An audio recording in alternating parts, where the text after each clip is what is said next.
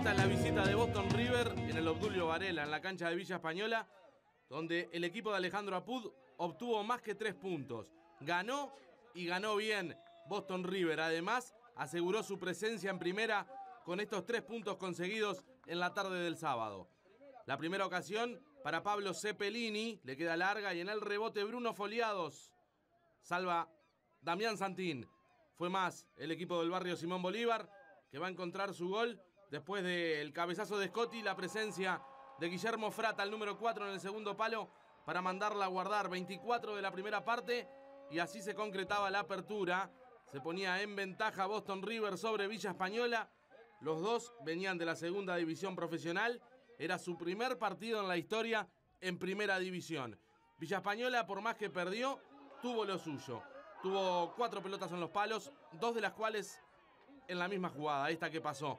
El cabezazo de Pablo Silva en primera instancia, el palo dice que no. El rebote es de Santín, que con una media tijera intenta darle sobre el arco, pero también el palo le niega el tanto al conjunto de Jorge Casanova. Una más, y es la última del primer tiempo. Gran centro para el Bigote López, el número 8, con su cabezazo y otra vez el palo. Hace lo que no pudo Berbia.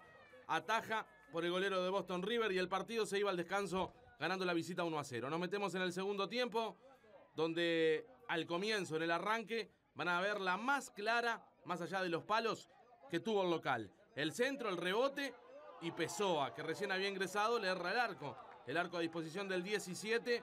El cocazo parecía certero. El empate era inminente. Pero el jugador que ingresaba para jugar ese segundo tiempo le erraba el arco y el partido seguía con triunfo de la visita. Un minuto más tarde, al minuto de ese segundo tiempo, va a llegar el segundo gol del equipo de Apud. Buena media vuelta de Federico Rodríguez, asistencia perfecta para William Klingender y el número 10 no perdona. Define ante la salida del Nacho Barrios para empezar a liquidar la historia. Ganaba Boston River, pero dos goles de diferencia le sacaba a Villa Española.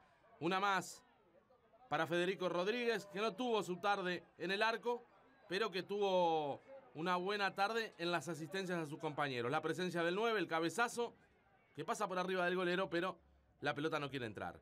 Y se liquidaba todo después de esta jugada. La aparición otra vez de Guillermo Frata, que marca su doblete en la tarde del sábado, pone el tercero de Boston River, tercer gol en primera división del número 4.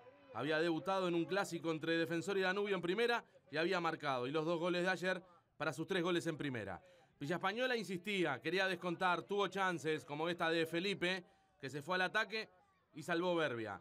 Casas, una de las variantes de Casanova, asistiendo a Malán y el 29 que define así. El golero va abajo y salva lo que pudo haber sido el descuento de Villa Española, que insisto, por más que perdía 3 a 0, no se daba por vencido y quería su gol. Ahí está el gallego contra el palo y después González, que la aleja de todo peligro. Nos vamos del partido con la última, el último palo, el que le debíamos. Casas ingresando, sacándose dos hombres de encima, el remate sobre Berbia y otra vez el palo que esta vez jugó para la visita. Ahí está el ex River, buena definición y el travesaño que salva. Se termina el partido con victoria 3 a 0 de Boston River sobre Villa Española en Obdulio Varela. Boston River con estos tres puntos asegura su permanencia en primera y piensa en Copa Sudamericana.